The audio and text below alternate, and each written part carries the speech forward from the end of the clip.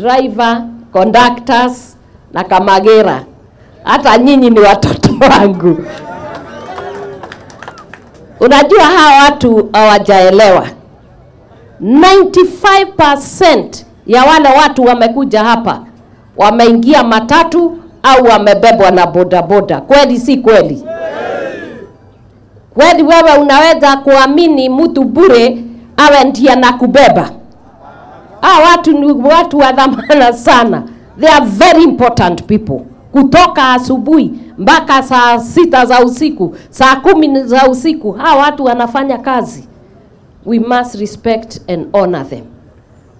Mimi nikiwaangalia, mimi naona ni watu wa muhimu sana kwa uchumi wetu, na tutaendelea, tutakuwa pamoja, nione vile mkitibiwa, na ninawauliza tafadhali, hii mambo ya pombe na bangi na hizi madawa, kama mtakubali, muachane nayo, kwa sababu munabeba watu wengi sana kwa hizo magari mko nazo, na kama huwezi kuona uko uko juu hai hairiri